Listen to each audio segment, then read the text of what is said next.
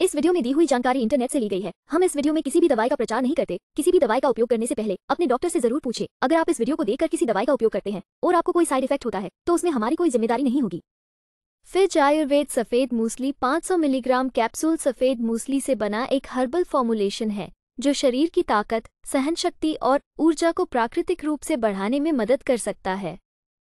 यह अधिक ऊर्जा और शक्ति प्रदान करके प्रदर्शन स्तर को बढ़ाने में मदद कर सकता है। ये पुरुषों के सामान्य स्वास्थ्य और कल्याण का समर्थन कर सकता है।